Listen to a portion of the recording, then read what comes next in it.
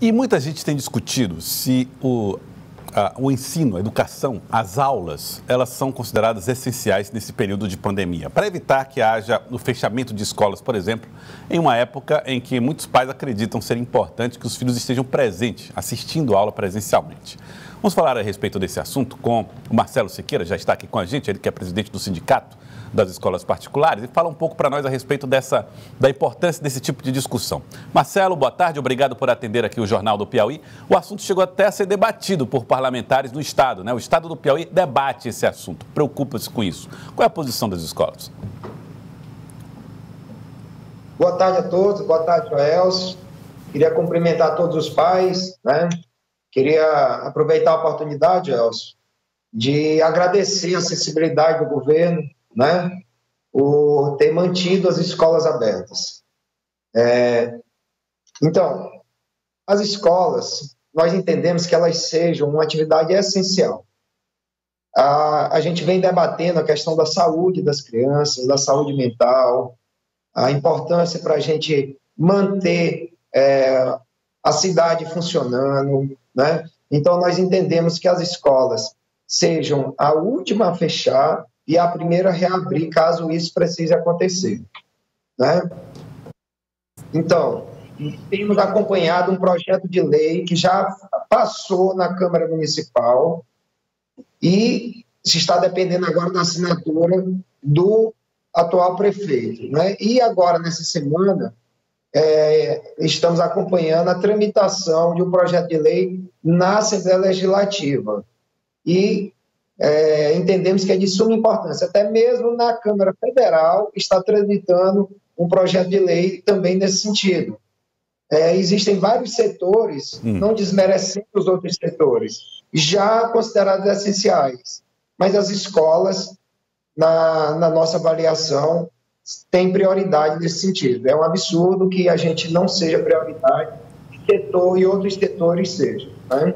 É, presidente, como garantir, qual a importância primeiro dessa aprovação? Se for aprovado, o que é que isso garante em relação ao funcionamento das escolas? E como é que vocês também podem garantir que esse ambiente será seguro o suficiente para que as aulas continuem sem problemas?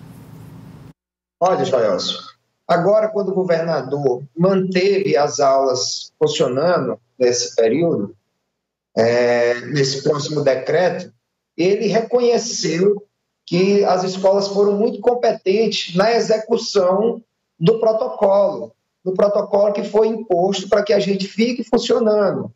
É um protocolo muito rigoroso, né? E a gente é, reconheceu por quê? Porque nós temos um índice de transmissão dentro da escola próximo ao zero. É, no dia de ontem, nós fizemos uma pesquisa com todas as escolas sindicalizadas, que são as maiores escolas de Teresina, né? E temos escolas também do interior do estado que participaram, com as faculdades, e é, não foi surpresa o resultado. É, transmissão dentro da escola foi um caso ou outro. Temos o índice quase zero. Eu tenho essa pesquisa em mãos, posso até disponibilizar depois para quem quiser ver. E é, estive conversando com a doutora Tatiana do COI, é, e sempre estou passando para ela é, situações em que prova que as escolas estão cumprindo o protocolo. Sempre que há uma suspensão de aula, sempre que há é, uma criança que vai para casa, um, um, cumprimento do protocolo, que a suspender as aulas é o mais difícil para a gente, porque é muito ruim para os pais e para a escola, mostra que as escolas são responsáveis, que evita a transmissão do vírus dentro da escola. Uh, outro assunto, uh, Marcelo, como é que vocês têm reagido às provocações dos pais? Eles têm mais manifestado interesse de que os filhos estejam na escola ou fora dela nesse período de pandemia? Olha, o protocolo ele é muito bom nesse sentido, porque quem não precisa ou não quer ou precisa manter a criança afastada porque tem alguém em casa mais idoso ou não quer, ou tem mais receio, né? Pode manter em casa, porque as escolas estão obrigadas a manter as aulas remotas. E isso vem funcionando muito bem.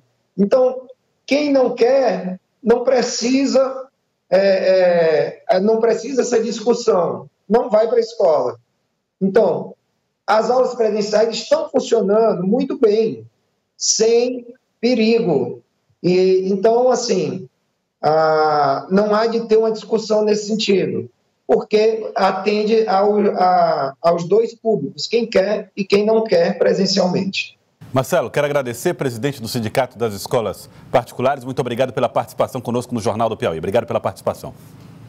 Obrigado, Joel. Um abraço. Queria agradecer aos pais que participaram conosco dessa jornada e para que a gente mantivesse as escolas abertas, porque realmente as escolas fazem parte da solução e não estamos tendo problema dentro das escolas. Obrigado a todos. Muito obrigado, Marcelo Siqueira, falando a respeito dessa situação das escolas particulares aqui na cidade de Teresina e no estado do Piauí também.